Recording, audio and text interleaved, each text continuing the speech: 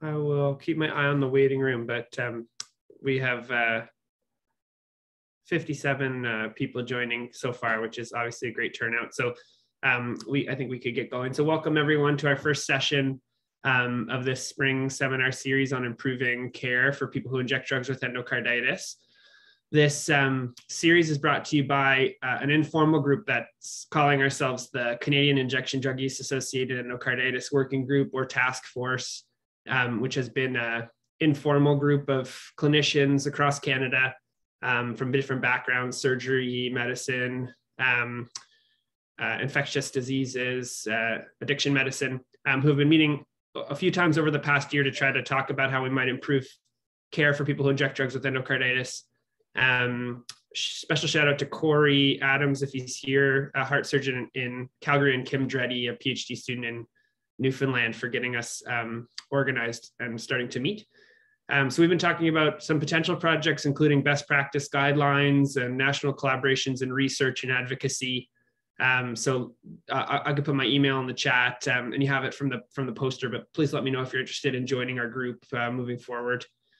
Um, each session in this series throughout the spring will have a different focus. And um, today's, uh, we're so glad to have Natasha Touesnard from the Canadian Association of People Who Use Drugs uh, joining us. Um, and I will introduce her in a moment. Uh, first, I'll introduce myself. Uh, so I'm uh, Tommy Brothers. I, I, practice internal medicine and addiction medicine uh, in Halifax, Nova Scotia, Canada. And I'm currently a fellow in general internal medicine at Dalhousie. Um, and I'd like to acknowledge I live and work in the ancestral and unceded territory of uh, the Mi'kmaq people. And this territory is covered by the Treaties of Peace and Friendship, which the Mi'kmaq first signed with the British Crown in 1752, 1725. And the treaties did not deal with the surrender of lands and resources, but in fact recognized Mi'kmaq title and, and established rules for what was to be an ongoing relationship between nations. We are all treaty people. Um, so as I mentioned, I'm incredibly grateful, and uh, I think we're all very lucky to have Natasha Touesnard joining us today. Uh, Natasha is the executive director of the Canadian Association of People Who Use Drugs. And Natasha believes in the organization's mission and strives to reduce oppressive societal conditions uh, facing people who use drugs by raising their voice throughout the policymaking process. Prior to this role with CAPUD, she was the site coordinator and lead case manager at the Open Door Clinic, which is a family medicine practice and opiate agonist treatment clinic located in Dartmouth, Nova Scotia. So um, Natasha has a wealth of uh, professional expertise as well as lived expertise. Natasha was among several local people who used drugs who formed the first drug user group in, in, the Atlantic provinces in Canada, which was known as the Halifax Area Network of Drug Using People, or HANDEP. And she's held several volunteer positions where she's able to share her expertise and advocate for the health and human rights of people who use drugs, including as a Canadian delegate to the United Nations uh, 62nd Commission, Session Commission on, on Narcotic Drugs in 2019. And Natasha lives by the guiding principles of nothing about us without us. She's a strong proponent of harm reduction and advocates for the respect of and holds a commitment to people who use illegal drugs who face insurmountable challenges due to prohibition based laws and policies. So I would like to welcome uh, Natasha to our group. And um, before speaking specifically about endocarditis, I invited her to speak a bit about um, the Canadian Association of People Who Use Drugs um, and their organization and advocacy, because I think um, I believe uh, partnering with um, and co-leading with uh, people who use drugs is going to be essential to transforming our system of care to support uh, people who inject drugs with endocarditis. Um, so I'm about to throw it over to Natasha. Feel free to put uh, Q&A in the chat um, and we can uh, facilitate a Q&A um, towards the end of the hour. So welcome, Natasha. Hi, thanks, Tommy. That was a great opening. um, yeah, I, like Tommy, I'm also located in Mi'kma'ki, which is the ancestral unceded territory of the Mi'kmaq people. Uh, we further acknowledge uh, that the people of African descent have shared these lands as well for over 400 years in Nova Scotia. And there are over 50 uh, strong, resourceful African Nova Scotian communities that exist here today.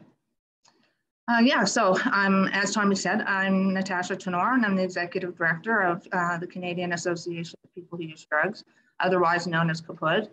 Um, we're a national organization that's com comprised of entirely of people who currently or formerly use drugs, and that's both our staff and our, our board. And we firmly believe in that. Um, one of our main purposes is to empower people who currently use drugs deemed illegal to survive and thrive with their human rights respected and their voices heard. Further, we envision a world where drugs are regulated and the people who use them are no longer criminalized. Um, and we often say we're survivors of this war and we're going to continue to fight for policy reform that's based in evidence, understanding, compassion, and grounded in our human rights and voices. So, um, yeah, when I first started talking to Tommy about this, I, I, I said I'd talk a little bit about my experience um, just with hospital and, and endocarditis myself. I started using opioids. Um, well, I used opioids for most of my adult life for different medical conditions, but in the early 2000s, I had transitioned into um, injection drug use. And so between 2001 and 2008, I had been to the emergency department, uh, I, I, mean, countless times. Um, unrelated to endocarditis, those, those were, you know, related to other adverse uh, infections like um, cellulitis or abscess or, or thing, other types of uh, infections that I would have from injecting drugs. And I can say honestly, I was treated poorly every time. I was um, disregarded. I sat in a room and waited, and I would be looked at as, as if I was there drug seeking, when in actual fact, I had a health condition that needed to be looked at. And um, from those adverse interactions with hospital staff, it made me feel I'd rather die than actually interact with, with the healthcare system. And, and I mean that when I say that. And there's a lot of people who use drugs. I don't, I don't want to speak for every other person who uses drugs, but a lot of the people we work with feel the exact same way about the healthcare system, that there's this link that's missing to the compassion and understanding. And so, you know, probably around, I think it was 2008, I'd become really lethargic, sick, out of breath all the time. I'd lose my balance. Like we're actually be walking, my legs would just drop and I'd hit the ground and this had been going on for some time. And, and you know, uh, I never forget, like I was at living at Adsum House, which was a, is a home for women and children, for homeless women and children. And they were trying to talk me into going into the hospital. I said, nah, nah, they're just gonna flag me again and they're, they're not going to um, take me seriously. And so, you know, after after going through that for so many times, I was really apprehensive. Um, but then I, I, don't I don't know if many of you know who Patty Melanson is, but Patty Melanson is a, a, a, nurse that worked at the Mobile Outreach Street Health team here in Halifax. And Patty sat with me and talked with me and said that she would stay with me the whole time I went to the emergency, right up until I got admitted to make sure that I was okay if I needed to be admitted. And sure enough, when Patty was with me, I was taken seriously and I found out that I had endocarditis. By that time, I had lost close to 55% use of my heart. And as you can imagine, my heart was extremely enlarged and, and it was um, at a very you know, dangerous point where I was admitted. And I'll tell you, Patty didn't miss a day. She came in there every day and she sat with me and she advocated to the doctors for what I needed, or if, if I was in pain, or if there was something that I needed, she was there to, to advocate by my side. Now I know there's not a Patty, God bless her soul, she's no longer with us, but there's not a Patty everywhere in this world. Um, but I definitely need a Patty, and I know there's a lot of people who use drugs that do. I wouldn't be alive today if it wasn't for her taking the time to sit with me. And so, based on my personal expertise, I think that there's a number of things that have to change within the healthcare system. I think that doctors and nurses, and this may be controversial, I, I, think that there needs to be CMA, CME credits that are developed by people who use drugs that doctors have to pass in order to work with us and nurses as well, that, that are, are um, grounded in our voices. And so that they can learn the experiences we have. I also think that there needs to be, um, you know, compassion and um, sensitivity training around people who use drugs, trained by people who use drugs. And this is sort of flipping things backwards, right? um, because doctors are normally giving us advice uh, or, or, nurses, but we're never normally giving them advice. And I think that in most cases, with with looking at the countless number of people that I've known and even lost endocarditis and many other drug-related issues, that there needs to be a change within the system where our voices are heard and taken seriously and work together. Uh, instead of you know having doctors having like a visceral reaction to us when we when we, we enter hospital and they think that we're just there drug seeking, when in, in fact, you know, we need help, we need health services. I would also say that hospitals seriously need to um, start opening up safe consumption sites within their site. Um, if people aren't able to, you and beyond safe consumption, safe supply as well, because I think the two go hand in hand. if I am uh, drug sick and I'm in hospital, I am not going to, going to stay. And that's just point blank. And so if we're to offer people the, the and satiate the needs to have while they're there and they have somewhere to use that's not going to have them kicked out of the hospital or that they're going to leave the hospital, I think that we'd go a long way. Um, further, you know, I, I, would just like to see there be an overall system change. Um, I, and I mean, this has nothing to do uh, nothing to do even with this format, but you know, our organization has been fighting for decriminalization. We'd love to see regulation and legalization come in uh, into play because by all means, we don't think that doctors can, you know, permanently decriminalize us. But uh, what, I'm, what my point is, is that there's a number of steps that need to happen in our society. And, and I don't believe that doctors are solely or nurses are solely to blame for um, all of the experiences that we have. But what, what I am saying is when, when it happens in a, in a hospital situation, that one bad interaction could be their life. And so I guess I'll leave it there. I know my speech wasn't all that long, Tommy, but. no, that's great and really helpful, Natasha. And I think it might be helpful. Our audience um, I, I, includes people from like a bunch of different health professional backgrounds, but also um, people from the public that don't work in healthcare. But um, it, it, might be helpful for those of us, um, especially coming from a healthcare background, to understand a bit more about um, how how those factors affected you or affect people who use drugs at kind of each phase or stage of your illness. So you had initially mentioned that um, uh, you didn't want to go to the hospital, and then it mm-hmm. took uh, a, a, very special nurse on a very special outreach healthcare service um, to sit with you and, and talk with you and, and convince you to go or support you to go. Um, so what are what are some of those things that kept you out of hospital or made you not want to go back? Was it as you're getting at like having previous negative experiences um, related to stigma and discrimination? Yeah, you know, like I was in with um, severe pneumonia one time and um, in hospital, and thank goodness I had a good doctor. I mean, I, I think I've been very lucky over my lifetime to have a good team of people around me. But the hospital staff that were there didn't want to treat me um, you know, with pain, anything for pain. And I was in severe pain. Um, but the, the mythology behind that was because I was on methadone, I didn't need anything extra for pain. But I think uh, anybody that works in opioid agonist treatment knows that that just is the methadone that you're taking is to keep you well, right? It just that just brings you to normal. It doesn't actually, you know, uh, stop new pain that's coming in, into effect. And so it, it's sort of like, yeah, if doctors don't understand that and work with the patient and actually listen to them, um, you know, it, it, becomes worse because you're not, as I said earlier, you're not going to stay there. Um, but even even interactions with nurses at time, you can hear people sometimes talking. Your rooms are right next to the stations most time, and you can hear people thinking, "Oh yeah, she wants her drugs again," or do you know what I mean? It's just like those types of experiences, to the point that um, you're you're not taken seriously or you feel degraded whether whether it's intentional or not by a healthcare provider, because by no means am I saying that this is like this is a across the board intentional thing towards people who use drugs, by no means. But those interactions that do happen with individuals that don't understand drug use or, or the, the the reasons people use drugs, um, it makes it much more worse. And, and then the, the, the patient may never ever come back again after. They may even leave after hearing that one interaction and just feel this is not a place for me and, and leave. And I I've seen that happen to one of my friends who passed away, whom you, whom you know, uh, Tommy. She left the hospital and, and, she, and she died.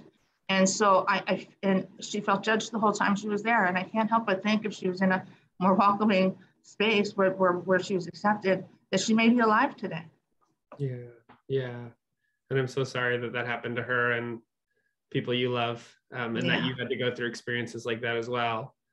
Um, but you, you were mentioning like um, your own illness was getting worse and worse, uh, having trouble breathing, feeling really run down, um, and uh, but but the negative healthcare experiences were keeping you from potentially going and getting checked out and getting some of the investigations when things might not have been so severe. Yeah, correct. And, and then the other side of it was too, was that I knew once I went in, I was going to have to stop using um, you know, the things that I had been using to keep me alive at that point. Um, so there's the, there's both sides of it because you know once you go into a hospital situation, um, you know, back then there was no offer of safe supply or you know upping doses or keeping you satiated so that you'd stay in hospital. but yes, no, uh, you know, a, a, number of occasions um, being admitted and just having, you know, really, really bad experiences that, um, yeah, I, I, am honest when I say that, that I, I would have rather, and I mean, it's crazy, I would have rather died than have to go back to the hospital and be put through that shame and degradation um, while I'm there. Uh, and, and I think that that goes, you know, a lot of people, people who use drugs across this country would tell you the same thing. Who wants to go into a situation that makes them so uncomfortable to try and get well? It's like you're trying to get well physically, but mentally you're deteriorating, right? And the um, you mentioned the feeling like the health care providers had mis miseducation or misunderstanding about um, you know the role of methadone and how that wasn't treating your pain and you were getting inadequate pain treatment. Um, and then you also mentioned the the potential for things like safe consumption sites in hospitals um, or safe supply like prescribing pharmaceutical alternatives in hospitals for people who need to be there for antibiotics for endocarditis or surgery um, what uh, what what sorts of things do you think we need to change there? It sounds like the expectation from lots of hospitals that people are just immediately going to have to stop using drugs to come in and get health care is like impossibly unrealistic. Well, it is, and, and, and that's the main reason why even if somebody is admitted and they and they aren't helped soon, you know, satiated soon after for what what they're in withdrawal of, they'll just get up and leave, right? And so beyond, I would say safe supply is a major thing that needs to be um, um, put in place in hospitals, especially um, we know right now there's a poison drug supply. So you, the chances are even if even if that while they're in hospital for whatever illness they they don't die from that when they leave. They're, they possibly could be poisoned and die from the drug supply as well. I think that the health health profession, as I remember working with Dave, it's do no harm. But doc, that is the oath that is taken. But isn't it doing harm if you're allowing them to leave because mm. you don't want to help them the way they need to be helped? I mean, to me, it's sort of like I like flipping things upside down and looking at it the opposite way because, you know, from my experience working with a doctor, um, and you know, there's rigid ways, but there's also ways that we can also, you know, people prescribe hydromorphone on, on an everyday basis for pain. It shouldn't be any different when you're looking at a person who uses drugs when they're in the hospital, and that the, their choice is, or the doctor's choice, can we help this individual stay, um, you know, not in pain, um, feeling a little better while they're here, or are we just going to let them leave? And especially with endocarditis, we know it's a silent killer of people who use drugs and, and possibly die. Mm.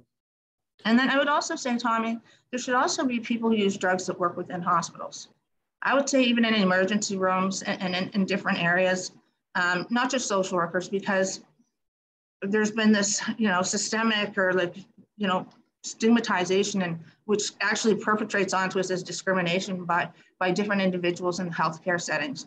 And so I've noticed, even when I was working at Open Door Clinic, that people were at much more ease when I was doing intake with them, when I was walking them through the steps. And, and that's because we shared an experience together and they knew that I didn't look at them. I had no um, ill will or, or what one person who's already been stigmatized feels is ill will towards them. Like they just don't want to be around me. They just don't, you know, they think I'm the scum of the, scum of the earth.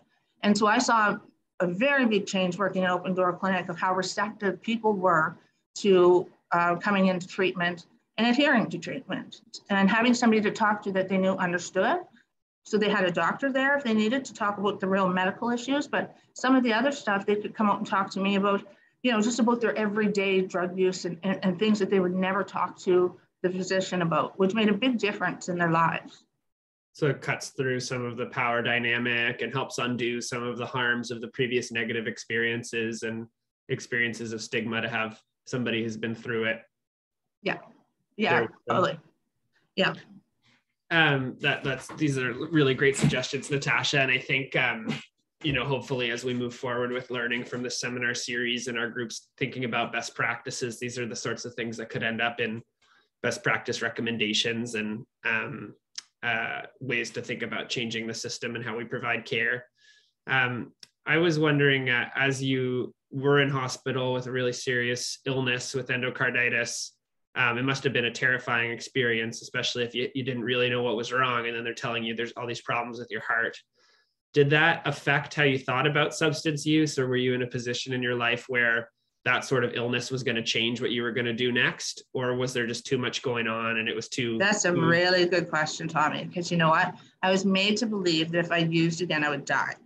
Like that was what i was told. And so somebody was substance dependent for you know a number of years telling me that like that telling me that all of a sudden was like what what the hell like i'm not, I'm not going to be able to those were my coping mechanisms to live this far right and now uh, it, it's instilled a fear into me instead of having a conversation with me about maybe proper injection use because I'm an injection drug user. Chances are I am going to inject again. Although I was scared straight for a couple months, but it only lasted. I was in the hospital for the first month, and the second month after I got out, I started injecting again. But I mean, with great fear. Like I mean, and I can't explain to how how how weird that is to have something in your life that is your friend, that is your comfort, that that that and, and I'm speaking about you know opioids specifically for me that carried me through a lot of trauma and a lot of things that I'd gone through in my life. And then to have somebody tell you, well, like snap a finger, you just got to stop or else you're going to die. And it's like, I think I might die without it too. And so hmm. you're in this sort of parallel universe of not really wanting to die, but not knowing how to cope anymore. And so there's no conversation around that either. Instead of giving people techniques and, and scaring them. I mean, I know every best case scenario is, you know, I wouldn't have injected drugs after that, of course. But to think that the, the, the, the scared straight thing is actually going to work, it, it, doesn't. And then it can become, then their use becomes hidden and, and, it makes it even more fatal because then they're not sharing it with people around them um, because they feel that they're being judged after the, they've already gotten this diagnosis, right? That, those are really interesting points. Um, do, do you feel like there's an element of coercion in there if health professionals are like, you know, we're expecting you to stay at the hospital, get your antibiotics. Maybe we're talking about the potential for surgery. Um, and if you use again, you're going to die. So if you're not on board with our program, you know, this is this is what we expect. Yeah, yeah. It, yeah, it's this, it's this weird conundrum because I can remember, I can remember when I left the hospital, I was just like, I was just vibrating every day. You know, I, I didn't know what to do. And, but I, was, I know how scared I was to actually use. Um, and, you know, so I changed my method of consumption um, for a bit, but, you know, ended up going back to, to injecting for a period of time. And, you know, um, uh, luckily, I, not on wood, nothing ever, nothing ever happened after that. And I had made a full recovery. You know, I was on heart, I, I was lucky enough I didn't have to have heart, heart surgery, but I was in the hospital for about a month and I was on antibiotics and um, with close, close watch and heart scans and tests and that all the time. But um, I made a full recovery. I was on a number of heart medications for, I think it was five years. And then I went in to see my heart specialist and she said, you don't need these anymore. So my heart had made, a, which is pretty good, I guess. Yeah. No, I think so. Really, that's really good. So instead of a scared, scared straight, um, you know, oversimplification, um, we're just telling you, you know, you're going to stop using drugs and that's how it's going to be, or else you're going to die. You mentioned it would be helpful to review kind of safer injecting technique and some of the harm reduction resources what uh, in an ideal world how how do you wish your doctors had had handled that conversation or had communicated with you about the risks of you know if inje- if injecting caused this infection or was like the major driver of this infection? In an ideal world how do you recommend health professionals address that topic uh, in these situations with endocarditis? Well i would say you know if i was if i was a physician or a nurse or whoever's having this conversation generally it's a physician you know, best case scenario is we would love for you not to inject drugs, you know, and, and these are the reasons why. However, if you are going to, let me teach you some safer alternatives so that perhaps this infection won't, you know, won't happen again. Um, and, and, and, you know, or like talking about mode of ingestion for a period of time until your your your your infection is cleared, until you're feeling better. Um, but but this assumption that a, that a, a, physician could just come in and tell somebody, just stop or you're going to die, is definitely not the right tactic in my opinion because it doesn't work. But no, I think it's called it's compassion, understanding, and understanding that. If, if, no matter which way you look at how people use drugs, some people think it's a brain disease, it's addiction, it's you know, there's all these different things that go around, no matter what it is. The person is using those drugs for a reason, and, and just requiring them to stop just all of a sudden is is really absurd. And then and then it, as I said earlier, it pushes that person into isolation. And it sounds like in your case, you were talking about how um, the drugs you were using you used to cope with um, stressful, traumatizing experiences, and here you were with what was being told to you as a life-threatening, you know, um, incredibly terrifying situation, and they're telling you, um, we need you to stop using what you've been using to cope with with um, terrifying, life-threatening situations and trauma. Um, but we're not necessarily going to give you any alternatives or talk about any other scenarios. Like it just has to be, you're if you keep using, you're going to die. Yeah, and, and, and you know, it's a common thread throughout our community. Like I don't know how many people besides myself had said the first time when they started using opioids, injecting opioids, it was like the first time they felt like they belonged in the world. And, and that's because of the trauma and things that we've gone through in our lives that that, you know, at that time, that's what, what we need. And so, as you said, those expectations are when you're faced with another traumatizing experience, something that you perhaps, you know, the opposite side you'd be using to help, you know, deal with this this experience is now off limits all of a sudden um, and you're totally scared straight you'll just die. And it's like whoa.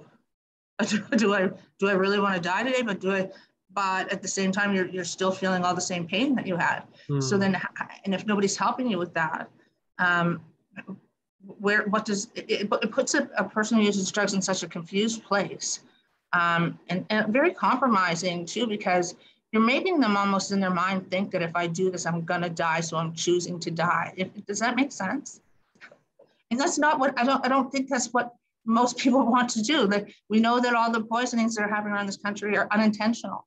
People aren't, you know, majority of overdose um, or opioid poisonings and overdose poisonings are, are in, unintentional. They're not intentional. So uh, that would tell one that people are using these either for social pleasure pain, trauma. There's there's just a whole spectrum of reasons why.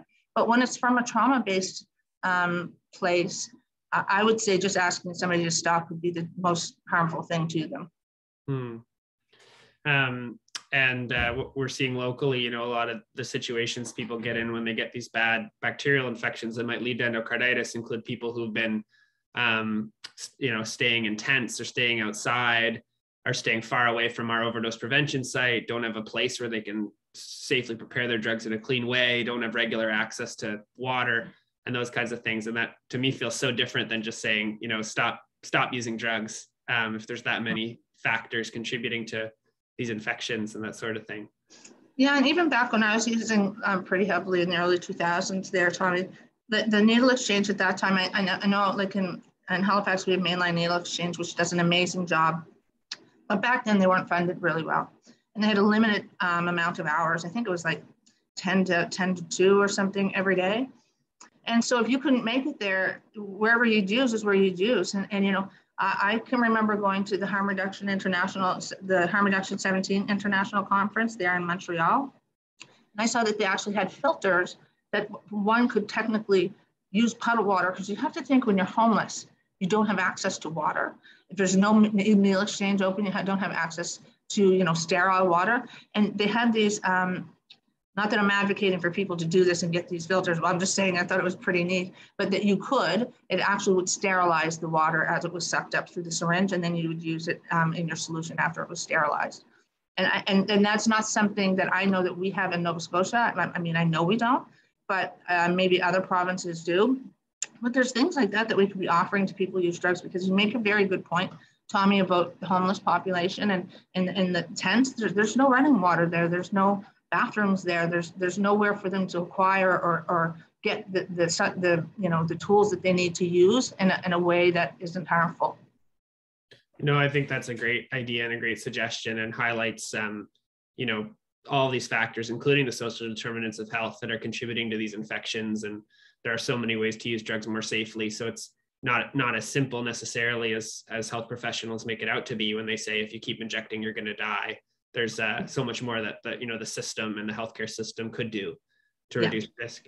Um, so that that's a great example. Those those better filters or special filters. Um, I do want to go back to something you said about how after your infection you switched your mode of um, consumption of drugs. So you went, you, I, I guess for a while you stopped injecting and you were taking drugs through other routes. Yeah, so I started smoking, but it just never for me was was was the same. So I I I, I did it because I was scared to death to inject.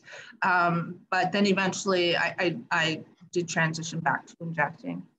Um, but I think we also have to be careful about that as well, because then I look at all the overdoses in this country now, and, and smoking or inhalation overdoses are the highest in the country, right. um, which is uh, another conundrum that we've gotten into. But that was something I, I did myself. like I just okay. was like, if they don't want me to inject, maybe I should smoke, because then at least, you know, I'm not putting something through my skin that could, you know, flare up my endocarditis or whatnot. Yeah. Um, no, that and it sounds like a good idea for that time and a good example of some of the you know different harm reduction practices that we could be teaching people or that they could employ mm-hmm. um, but from a from a medical model and you know like that's my bias or perspective and my mm-hmm. training and profession um, we sometimes talk about you know a best case scenario is that the hospital might be a reachable moment for people where um, if they're if they've had this you know really serious illness um, and they are scared and they are interested in making some changes that we might be able to offer them you know opiate agonist treatment on the spot um, access to um, housing supports social work supports income supports um, access to you know harm reduction education and um, connection with harm reduction services if they haven't been connected and all those things. Do you think those moments in hospital when people are really scared about what's happening and they've had these life threatening infections are reachable moments to offer those services for people to take advantage of them? Or do you think that that um, i guess what you know what's like that's our that's our medical model perspective on it but how, how would you consider that well i think anytime that somebody's looking for help then they're looking for help. It just depends on the help that they're looking for. So I, I, use detox as an example. If I call detox today and then they say they're going to call me back in a week, in a week's time, I'm, I'm probably going to be in a different place just because I've had to survive. And in emergency services, though, it, depending on what, what type of help that that individual needs, if yes, if it's opioid, I, I firmly believe if people want opioid agonist treatment, they should be started there and then transitioned out to a position that can follow along with them. I would even say the same thing with Safe Supply, which may still be somewhat controversial at times in places, but I think that it also should be offered within hospital and emergency room when somebody comes in. I mean, I mean it's the prime time. Um, if somebody is there and they're and they're looking for that type of help, I, I, I would take full advantage of it. If I was a physician and I was able to do so, that would be what I would do. So, from a hospital perspective or a health system perspective, um, us making sure that we have the right education, the right training, and the right people in place to um, treat pain effectively, uh, to treat withdrawal effectively, to offer opioid agonist treatment you know instantaneously on demand as soon as people are ready and transition it out into the community when they're discharged from the hospital. Um, but also all the things you're talking about before like recognizing people who have been using drugs you know that day before they came to the hospital are still going to be probably using drugs in the hospital providing people with lived and living experience or peer um, uh, on the uh, healthcare team uh, providing safe injection sites in hospitals where people could continue to use drugs, but do so in a way where they wouldn't have the same risk of infection um, and wouldn't have to leave hospital and, and miss antibiotics and investigations and that kind of thing. But I also think that there should be some type of training for doctors to work with people who use drugs. I think I opened saying that. I don't know if it has to be a CMA credit or something like that. I know doctors love their credits, right? But I, yeah. I, I, I, just do believe that there should be some type of a, um, a program or accredited program for doctors to not just come and get a credit, but I mean to actually come and learn and, and work with people who use drugs to understand maybe their own bias, maybe where they didn't realize they had a bias maybe something that they unintentionally said how that could have you know negatively impacted somebody um, and and so I, I firmly believe in it. it's a dual um, side training do you know what i mean I, I think people often want people who use drugs to show up and be proper and act like everybody else and dress like everybody else and be on time for your appointments and da da da da da. But there's so many reasons why that can't happen because of the, the, the their life situations. We're talking about people that live in encampments, people that are are um, you know in withdrawal and have no help. And, and so people tend to get very irritated by those things that happen that are really out of the control of the person. But somehow clinics, hospitals, you know, it, they still expect that individual, no matter what their outside circumstances are, to adhere to their roles. And I'm not saying having a two-tiered system, it's about having compassion and understanding. And, and so that's why I'm, I'm very, not firm, but I, I would love to see um, some type of, of, of, training that's led by people who use drugs with doctors, um, it, whether it's a module, whether it's role playing, whether it's, do you know what I mean? Like, it, I think it would be a really good thing for both sides to, to hear both perspectives as well, learn from each other. No, I think that's a really powerful idea. And, um, you know, if you were to talk to uh, health professionals about it, I think they would say, you know, removed from the moment where people's biases and stigma and discrimination come through, like that is the sort of care that they aspire to provide, like the best compassionate patient centered care. That's why we go into these jobs. Um, that's what we want to do. And so to learn from the experts with lived expertise on how to do that, I feel like it would make us better able to care for everyone. Um, yeah. Wow, we're yeah, I know. I noticed like to have misdirected anger directed towards me at the clinic.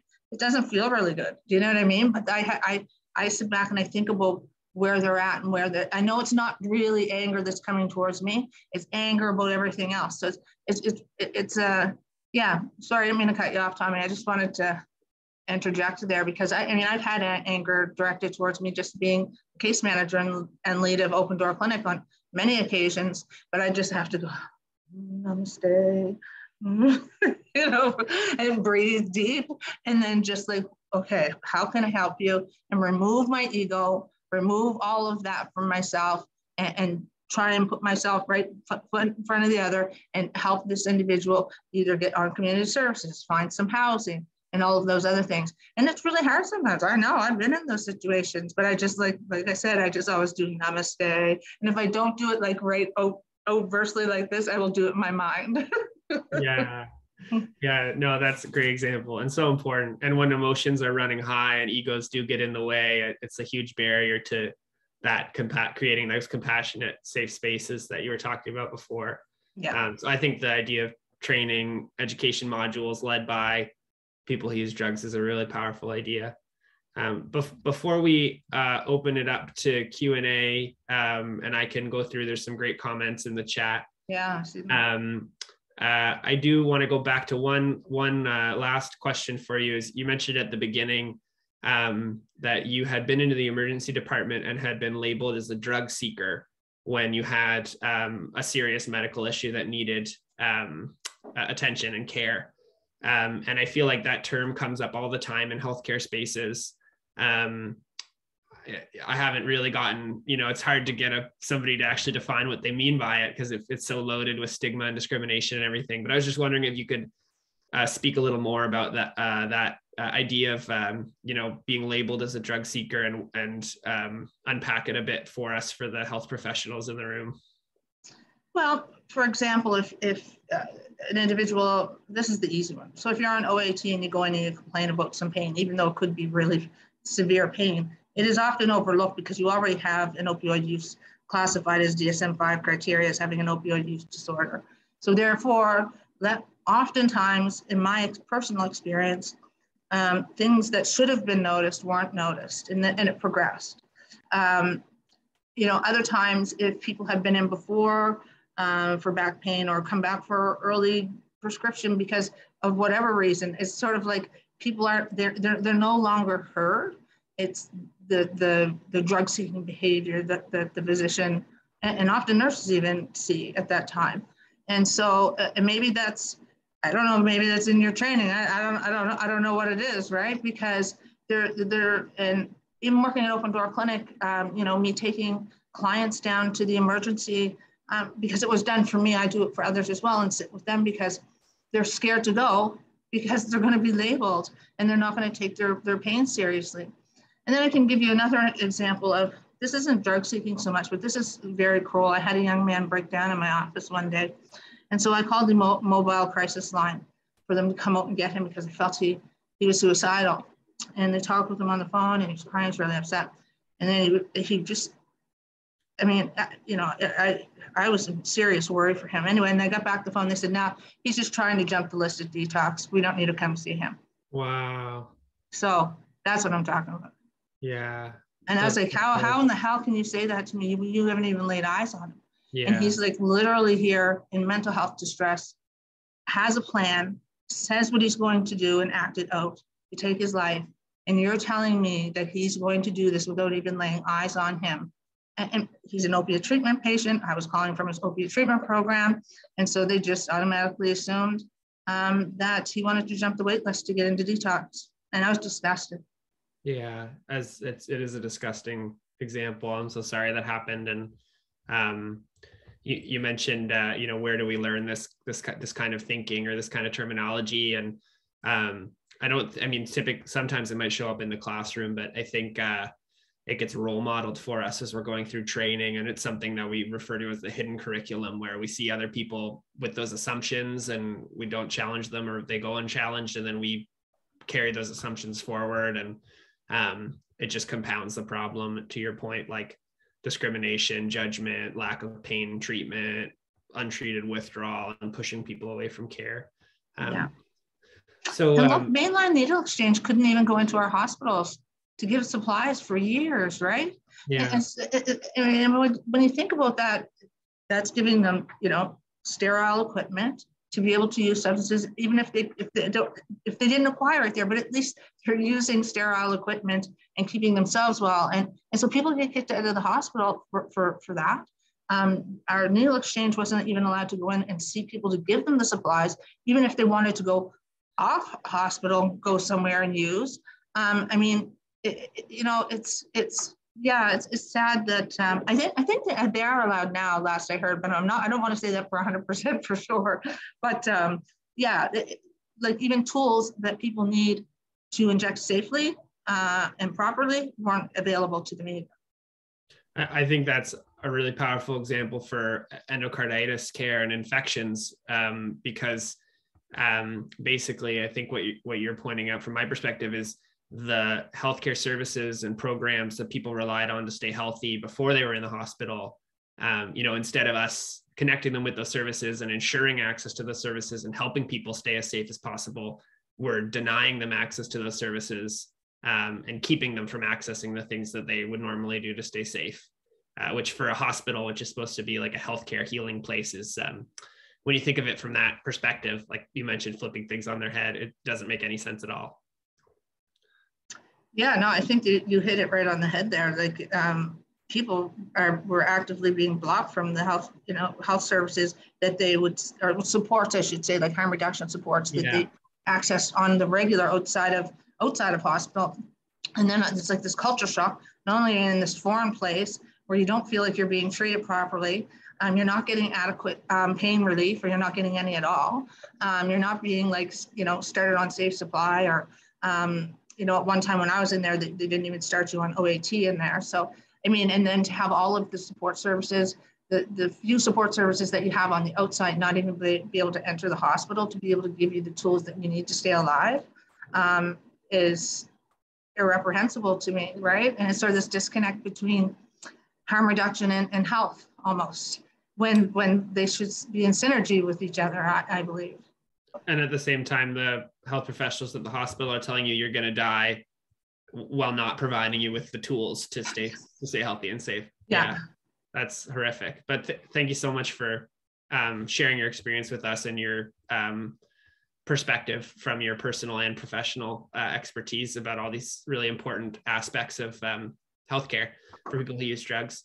Um, i do want to open it up. We have 15 minutes left so i do want to open it up to questions from um, the wider group in the audience. There's been some great, uh, so feel free to raise your hand or unmute yourself um, if you would like to ask a question.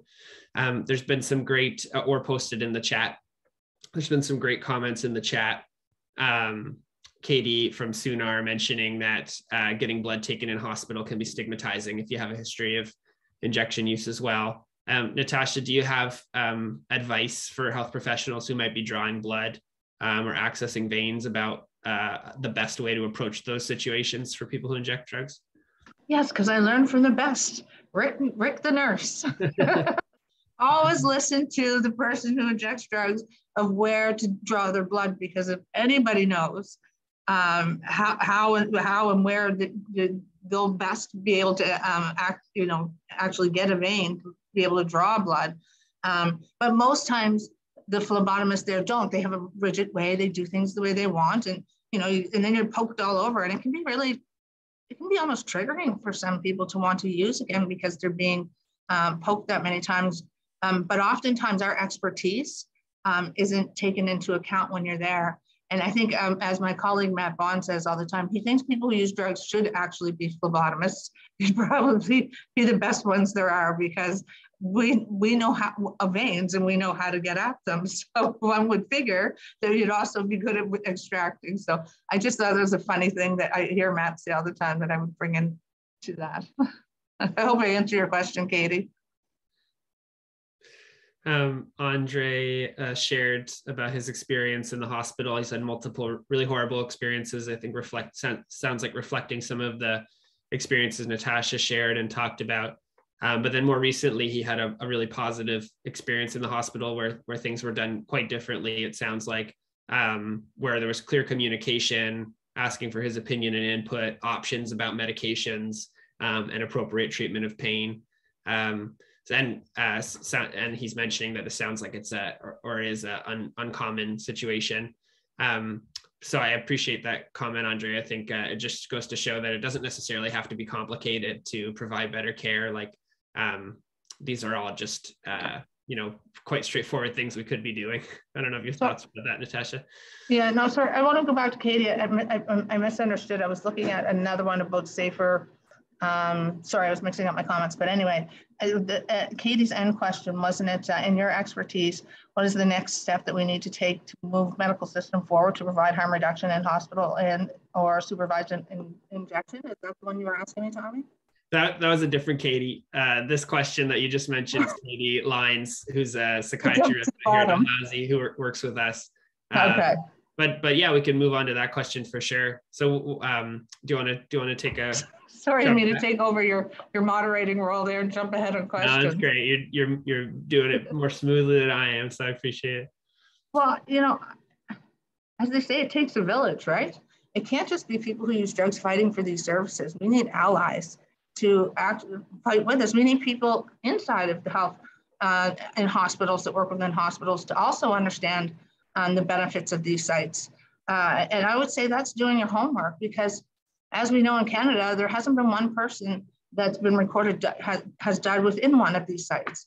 Um, there's also, you can have um, people who use drugs workers in there alongside health, health staff, which is another um, uh, good thing to have as well, because then there's also the person who uses drugs that's there to interact with the person to make them feel comfortable. And, and then it opens up a, um, you know, a, a talking wave with the, with the health professionals that are there. It's like when we first started working with MOSH, nobody was used to having um, nurses going out into the community and, and, on a van and just like showing up at their house. It was a very foreign thing here.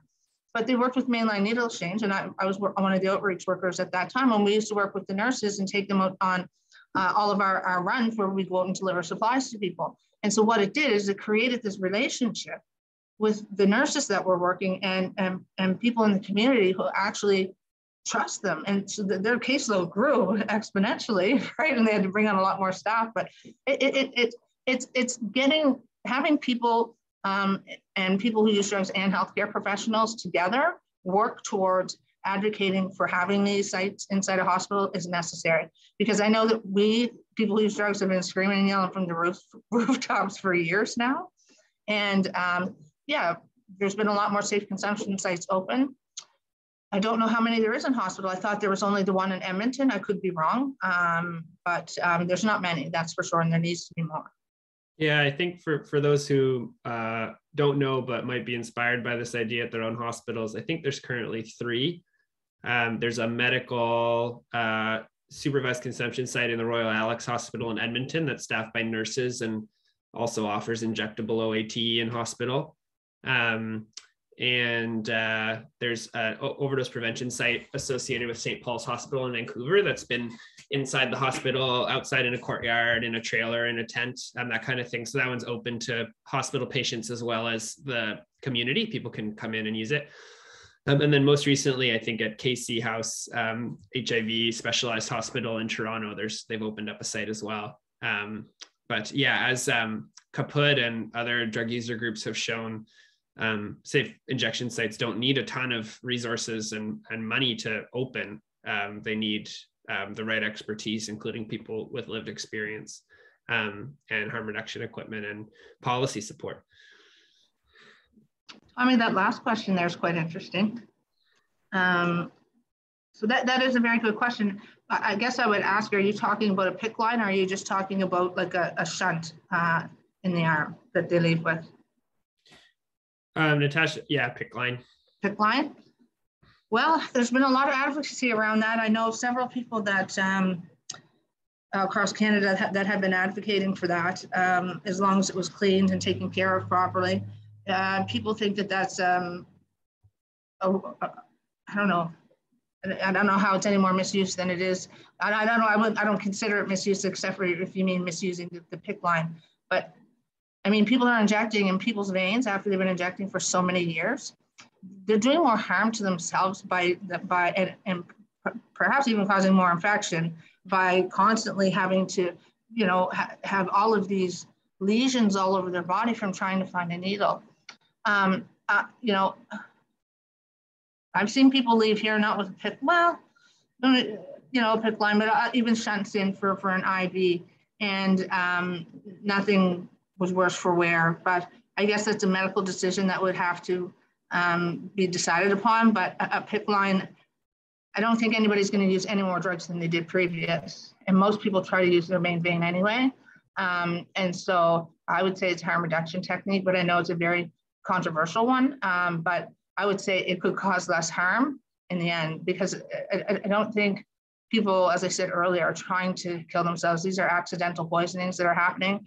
I don't think that the PICC line is going to be the cause of, of the actual um, death or, or, or, poisoning.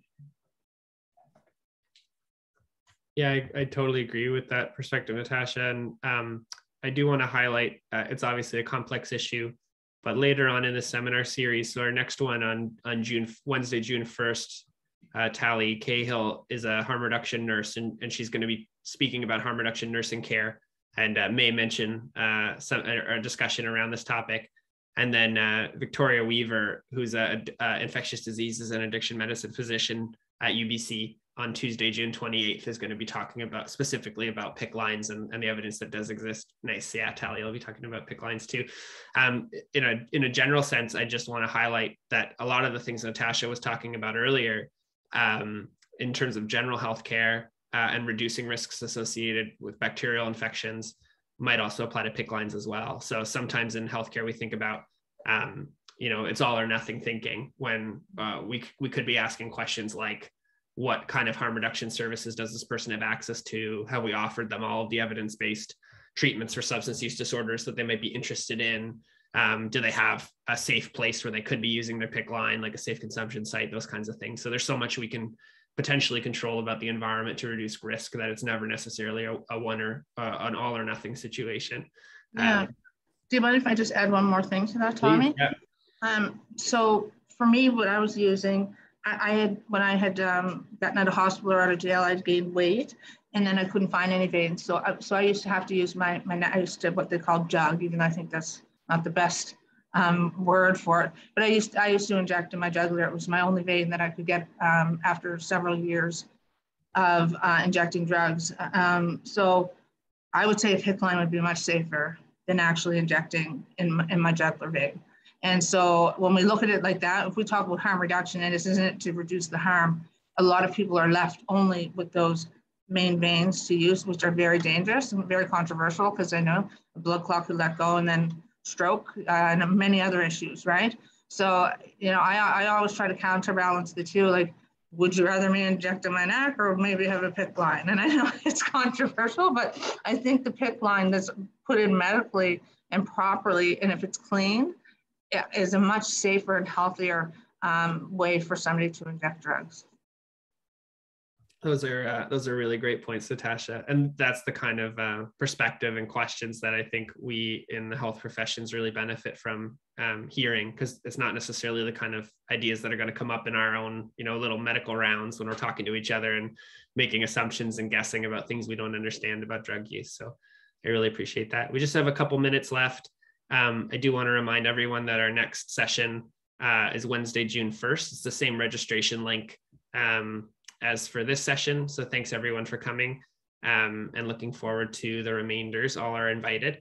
Um, is there uh, any last parting message, Natasha, that you want to provide to uh, this group uh, today? No, I guess I'm encouraged to see so many people here to to talk to, to hear us talk today, and um, you know I'm, I'm looking forward to having more synergy between health and, and people who use drugs, as I said earlier, I think only good could come of it. Um, and yeah, I can put my email in the chat too if anybody ever wants to reach out to us. Awesome. Yeah, please feel free to. Um, I just put my email there.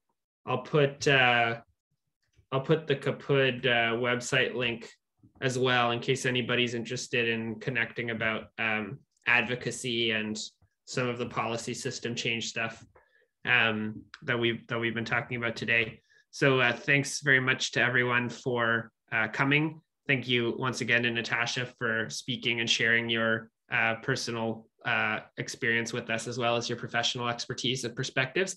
Um, and we really, really appreciate learning from you. And um, it's not the type of thing we typically get in a health, uh, you know, professional classroom or education session. So I, I, I deeply, deeply appreciate uh, you being here today. Um, Thank you, Tommy. It was awesome being here with you guys today. And it's good to see some, well, not to see faces, but names that I know here. so yeah, everybody have a great day and thanks for coming. And there, there should be a recording available. This is my first Zoom seminar organizing. So I'm, we're recording it. I'm going to stop it now. um, and then the recording should be available